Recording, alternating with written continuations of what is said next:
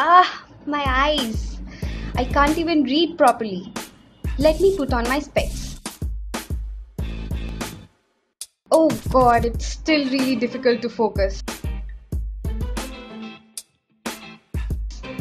I know, it's time to relax the eyes. Let's do it together. Number 1. Palming. Sit comfortably with your eyes closed and take a few deep breaths to relax. Rub the palms of your hands continuously until they become warm. Then place them gently over your eyes. Feel the warmth of the palms that is transferred onto your eyes. Stay in this position until the heat from your hands has been completely absorbed by your eyes. Keeping the eyes closed, lower your hands. Repeat this process 3 to 4 times. Number 2. Blinking. Keep your eyes wide open.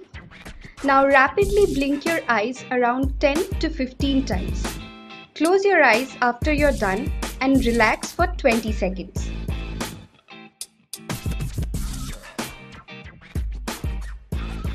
Repeat this exercise for about 5 times.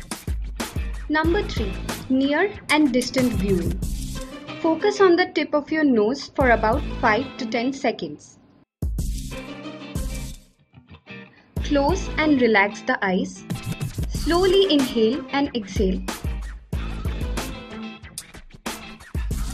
Open your eyes gently and focus on the farthest thing you can see for 5 to 10 seconds. Close and relax the eyes again. Slowly inhale and exhale.